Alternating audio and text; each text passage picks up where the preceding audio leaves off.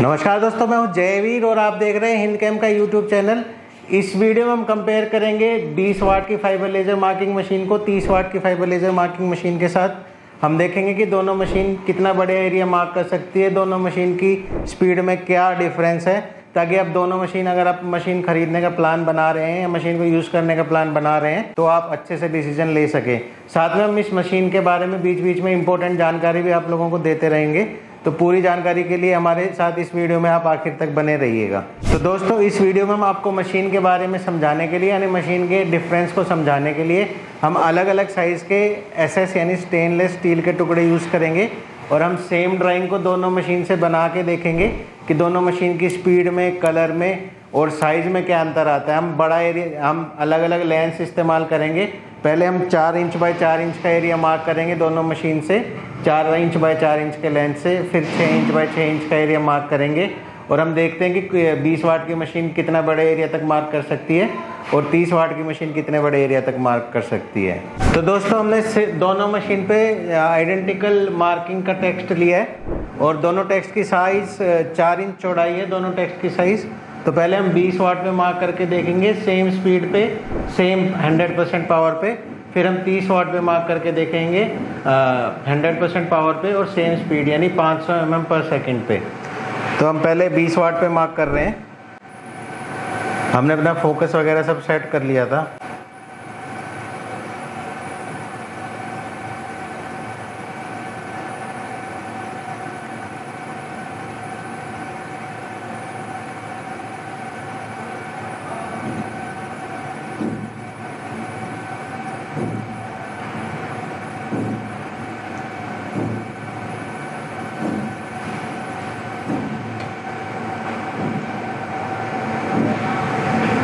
तो ये 20 वाट का रिज़ल्ट है।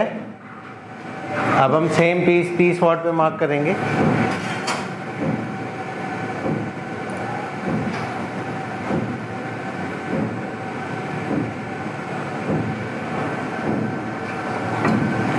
तो हम सेम पीस 30 वाट पे मार्क कर रहे हैं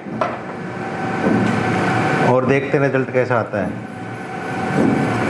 तो आप देख सकते हैं 30 वाट की मार्किंग 20 वाट के बजाय ज़्यादा ब्राइट है, जो जो इफ़ेक्ट है वो ज़्यादा ब्राइट है। और हम देखते हैं मार्किंग गाड़ी आती है कि नहीं आती है।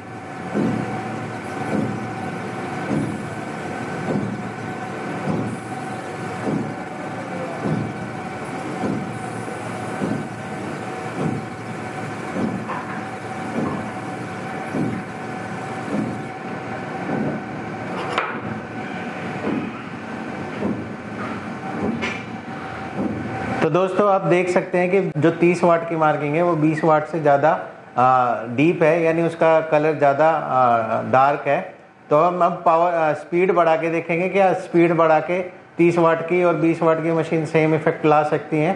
तो हम 30 वाट की स्पीड 50 परसेंट बढ़ा देंगे, यानी 500 से साढ़े सात करेंगे और फिर कंपेयर करेंगे इन तीनों को आपस में।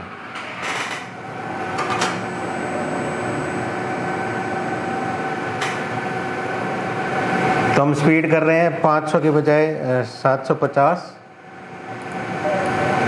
और अब हम सेम पैटर्न को मार्क करेंगे, उसके नीचे ही।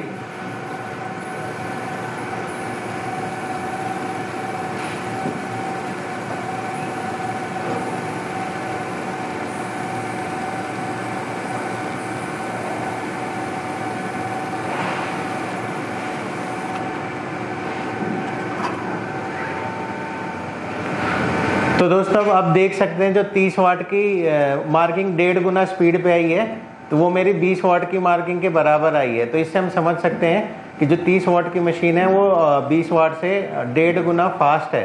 अब हम एरिया बड़ा करके देखेंगे। हमने अभी चार इंच का लेंस लगाया।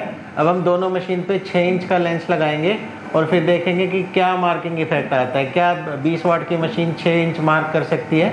और 30 वाट की मशीन क्या 6 इंच मार्क कर सकती है? तो अब 6 इंच की बारी है। 20 वाट में हमने समझा कि जो 30 वाट की मशीन है, वो 4 इंच बाय 4 इंच के एरिया में 20 वाट की मशीन से डेढ़ गुना फास्ट मार्क करके सेम इफ़ेक्ट ला सकती है और सेम स्पीड पे उसकी मार्किंग ज़्यादा डार्क होगी। तो दोस्तों, हमने फोकस सेट कर लिया है और हमने लगभग 6 इंच चौड़ाई का टेक्स्ट लिया है। अब हम इसको पहले 20 वाट पे मार्क करके देखते हैं कि 20 वाट की मशीन 6 इंच के लेंस के साथ सही से काम करती है कि नहीं करती है। तो अब देख सकते हैं मार्किंग काफ़ी हल्की हो गई है और जो इसका इफ़ेक्ट है वो इतना ब्राइट इतना डीप नहीं है। फिर भी हम एक बार कंपेयर करेंगे इसको अपनी दूसरी वाली मशीन के साथ, यानी 30 वाट की मशीन के साथ।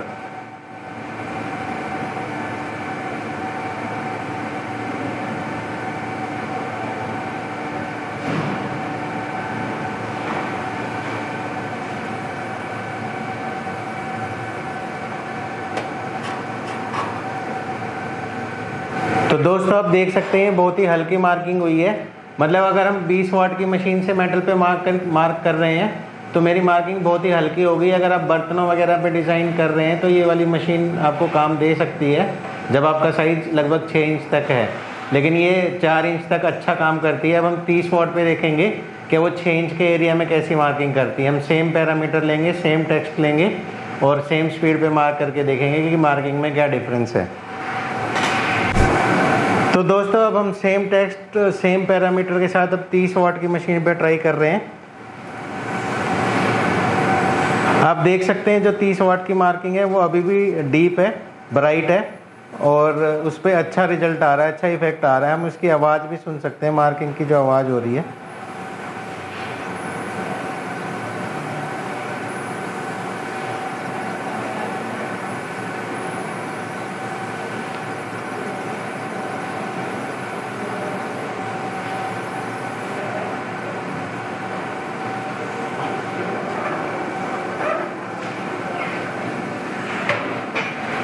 तो दोस्तों आप देख सकते हैं जो 30 वाट पे इफ़ेक्ट आया है, वो नॉर्मली इफ़ेक्ट आया है मतलब कि 30 वाट की मशीन को हम आसानी से 6 इंच बाई छः इंच के एरिया पे मार्क करने के लिए यूज़ कर सकते हैं। और जो ये 30 वाट पे इफ़ेक्ट आया है, वो मेरे 20 वाट पे जो 4 इंच बाय 4 इंच पे इफ़ेक्ट आया था सेम ही इफ़ेक्ट है। मतलब कि जो मेरी 30 वाट की मशीन है, वो छः इंच बाय छः इंच एरिया में 20 वाट की मशीन जैसा चार इंच बाय चार इंच एरिया में काम करती है, वैसे ही काम करती है।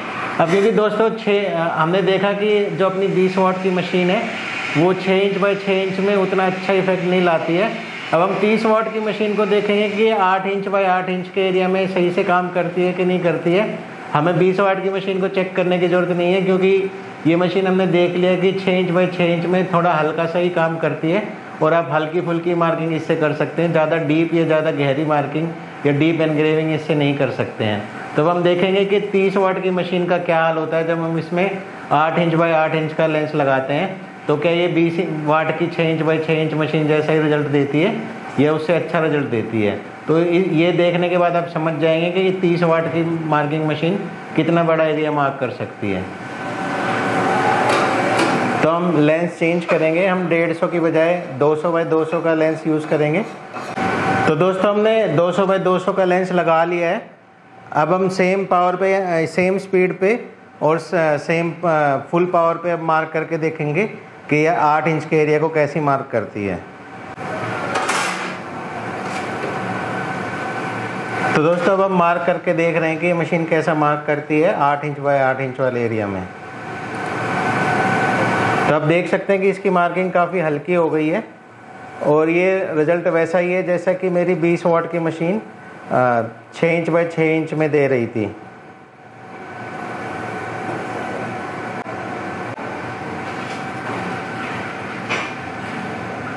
तो दोस्तों, इस वीडियो में हमने सीखा कि जो मेरी 20 वाट की फाइबर लेजर मार्किंग मशीन है, वो चार इंच बाय चार इंच के एरिया के लिए बिल्कुल परफेक्ट है। अगर उससे आपको बड़ी और हल्की मार्किंग करनी है तो आप इसको छः इंच बाय छः इंच वाले एरिया में, जैसे बर्तन वगैरह पे डेकोरेशन के लिए यूज़ कर सकते हैं, जिसके बारे में हमने डिटेल वीडियो बनाई आप आई बटन पे क्लिक करके देख सकते हैं।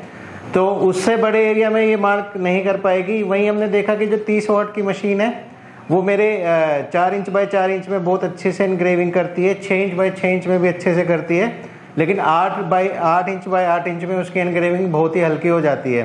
तो हम इसे समझ सकते हैं कि अगर हमें छः इंच बाय छः इंच तक का वर्क एरिया है तो हमें तीस वाट की मशीन पे जाना चाहिए। वहीं अगर मैं बर्तनों पे हल्की फुल्की इनग्रेविंग कर रहा हूँ तो भी मैं तीस वाट की मशीन ले सकता हूँ, आठ इंच बाय आठ इंच के एरिया के लिए, जो कि मेरी थाली जैसे बर्तनों के लिए बिल्कुल उपयुक्त होगा। वहीं अगर आपके छोटे, जैसे आप स्पेयर पार्ट बनाते हैं ऑटोमोबाइल पार्ट बनाते हैं, जैसे गाड़ी के बेयरिंग वगैरह, या इस टाइप के पार्ट्स बनाते हैं तो आप 20 वाट की मशीन में जा सकते हैं। वहीं अगर आपका थोड़ा सा बड़ा मार्किंग एरिया जो चार इंच से बड़ा है और छः इंच से छोटा है तो आप 30 वाट की मशीन में जा सकते हैं। वहीं अगर आप नॉन मेटल पे मार्क कर रहे हैं तो 20 वाट की मशीन लगभग 300 बाय 300 सौ एम बाय 300 एम तक के एरिया पे भी अच्छे से मार्क कर सकती है। हालाँकि वो मार्किंग अपने आप में उतनी अच्छी नहीं होती है। तो दोस्तों, इस वीडियो में हमने बताया कि 20 वाट की मशीन कैसी मार्किंग करती है, कितने बड़े एरिया में ये मार्किंग करती है और कौन कौन सी एप्लीकेशन में यूज़फुल है, वहीं हमने 30 वाट की मशीन के बारे में भी बताया। तो दोस्तों, आशा है इस वीडियो में दी गई जानकारी आपको अच्छी लगी होगी, काम की लगी होगी। हम आगे भी अलग अलग तरह की मशीनें अलग अलग तरह की सीएनसी मशीनें आपको कंपेयर करके इस यूट्यूब चैनल के माध्यम से आपको दिखाएँगे और आपके आपको समझाने की कोशिश करेंगे कि आपके काम की मशीनरी कौन सी है। हमारे वीडियो देखने के लिए धन्यवाद। Thank you